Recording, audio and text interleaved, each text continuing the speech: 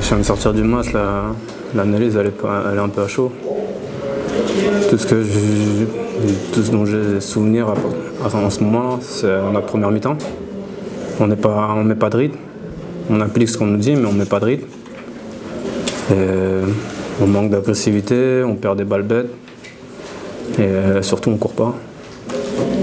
Après, en deuxième mi-temps, on se bat pour revenir. Mais on, manque d'adresse. Voilà, après, quand on n'est pas à droit, il faut qu'on soit plus, plus rigoureux en défense. on leur a donné beaucoup de paniers faciles. Et bah, eux, ils ont montré une, ils, ont, ils, ont, très bien joué. Voilà, faut qu'on. Mais ce match-là, malgré tout ça, on n'a pas. faut pas qu'on perde. Dans le money je trouve qu'il y a 2-3 coups de sifflet qui sont quand même euh, difficiles à encaisser. Quand tu joues dur tout le long du match, à la fin, il te siffle une faute, euh, il te siffle des fautes à chaque contact. S'il les siffle à la fin, il faut qu'il les siffle avant aussi. Voilà. Ouais, bah.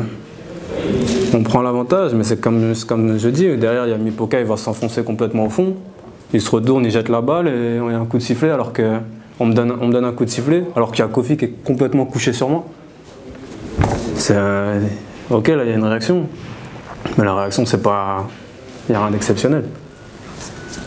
Non, faut qu'on.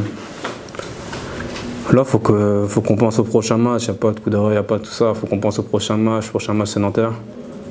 Voilà, faut qu'on, faut qu'on soit plus concerné et qu'on soit surtout dedans dès le début de match. Et voilà. Là, euh, c'est une défaite. Voilà, on prend, faut qu'on on apprenne des, qu'on apprenne sur cette défaite et qu'on continue.